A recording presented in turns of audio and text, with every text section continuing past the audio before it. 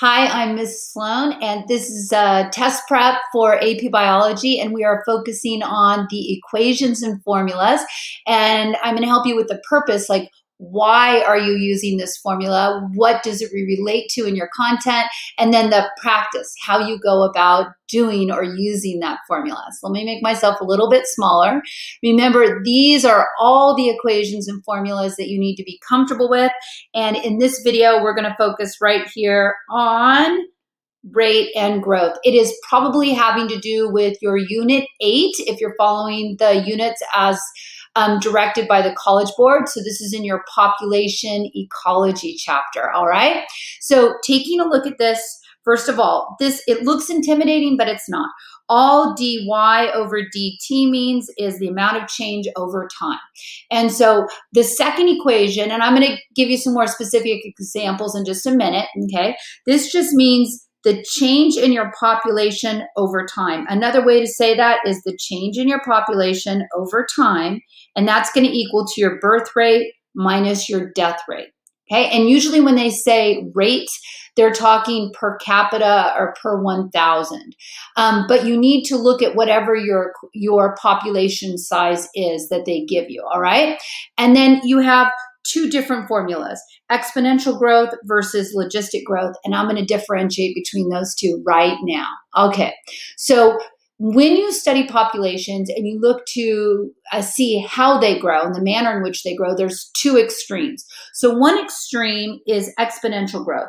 These types of organisms are usually fairly small. They could have tens, hundreds, thousands of offspring. They do not care for their offspring. They are not planners. They are eat, drink for tomorrow, we may die. They're just taking advantage of the resources they have.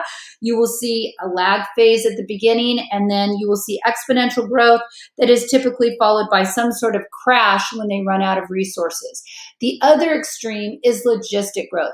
These organisms are usually larger. They could be mammals, and um, they will have several reproductive events in their lifetime, and they usually have fewer offspring and they care for them you can see as their population increases, it starts to slow down. And it slows down due to environmental resistance. They're probably running out of food or mates or um, other resources, and they're, they're very competitive. So as their numbers reach what's called, and I'm going to draw a line here for you right here, that's called the carrying capacity. As their numbers reach the carrying capacity, the maximum number of, of um, individuals you can have in that particular area, then they start to hover, sometimes a little above, sometimes a little below. So when you're talking about a logistic growth model, then you're going to have to have carrying capacity and how close you are to the carrying capacity working in as um, affecting your population growth. So let's look at an example of that. All right. So let's say you're in a population of 600 squirrels. So right away, you should say, okay, N equals 600. Okay. And they say the per capita birth rate, okay, is 0.06. So this is your B. And your per capita death rate is 0.12. Now, right away, you should be going, oh my gosh, the birth rate is 0.06, but the death rate is 0.12. So that means there's more deaths per capita than there are births. So what should happen to your population? It should go down. So let's look at three typical questions they might ask you. What is the per capita growth rate of the population? So I just want to get you started and then you can pause me to see if you can do this. The growth rate, you're going to be looking at R, which equals the birth rate minus the death rate. Okay. Then in the second question, they ask you, what is the actual number of squirrels that die during this particular period? Well, to know the change in your population over time, okay, it's going to equal, it says the number that die. Well, my death rate is 0.12, and I need to multiply that by the number of individuals in my population, which is 600. And then similarly, it's asking you, down here in this question, what is the actual number of squirrels that are born during this period? So take a look at your birth rate, look to see how big your population is, and pause me just for a minute before I go over the answer. Are you ready? Are you ready? Here I go. all right. So if you do the math on this, all right. So if I wanted to cal calculate the per capita um, growth rate, all I would need to do is R R equals B minus D. So I took my birth rate minus my death rate and I got this. That means my population is going down. What is the actual number of squirrels that die? I just took my death rate. They gave it to me right here. I multiplied it by the number of squirrels that I had. And the math there is 72 would die. And what is the actual number of squirrels that are born? I took my birth rate, multiplied it by 600 and I had 36 were born in that period, whereas 72 died. All right, let's level up a little bit more. So here, get down here. Here, you're looking at the change in population over time, right? That's the equation that you're looking at.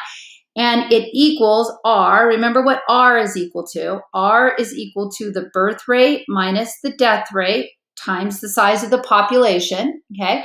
And and it says here a population of 265 swans. So right away, you should know that 265 equals N, right? That's your population size, are introduced into Westlake. The population's birth rate is 0.341 and the death rate is 0.296. So predict the population size of the following year. So pause me just for a minute and try to work it out on a piece of paper and then you can check to make sure you have it right. Okay, I'm to keep going. I'm to keep going. All right, so here we go.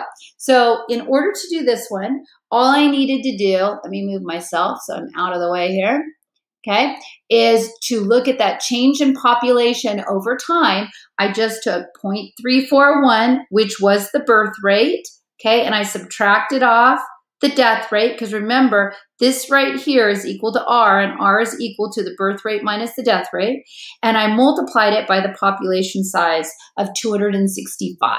So when I did birth minus death, that's 0.045 times 265 gave me 11.9 or approximately 12 swans.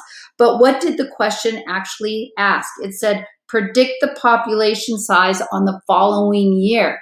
So I need to go, okay, it's going to change by 12 swans. What am I at? I'm at 265. That was my N. And then my change will give me 12 more for a total of 277. All right, let's do another practice one. I hope you got that one right. So now let's involve logistic growth. Let's involve the carrying capacity and how close we are to the maximum capacity of that particular environment. So that's logistic growth. So let's see how the equation changes.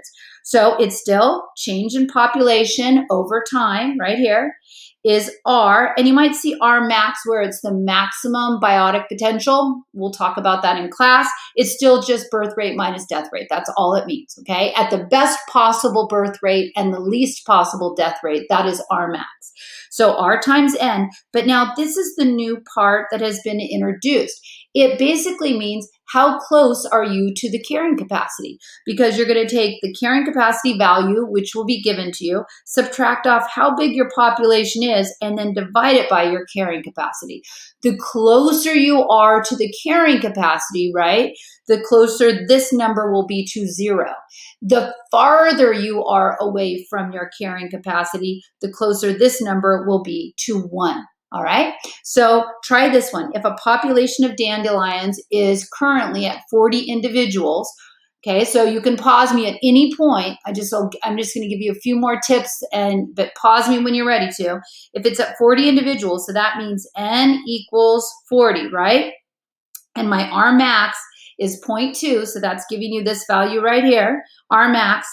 Um, predict how many dandelions would be in the population the following month because they gave it to you per month if the carrying capacity is 70. So that means that K equals 70. All right, you do the math and just pause me for a quick minute. All right, here I go. I'm going to go over the answer if you're ready. All right, so on this one, the change in population over time, okay, all I did was take R max, which was 0.2. It gave it to me right here. I multiplied it by the population size, that's n right here, which is 40. Then this k minus n, all we did is we said our carrying capacity was at 70. my population is at 40, right? Over 70. That's this value right here. So that equals 8 times 0.43. When you do the math, then my change in population, taking into consideration my carrying capa capacity, is approximately 3.44 or 3. That means my population that was at 40, I'm going to add 3 to it, and I would predict that I would have 43 dandelions the next month. All right? So keep watching these videos and we'll keep reviewing all the equations. And if you're one of my students, I'll see you in class.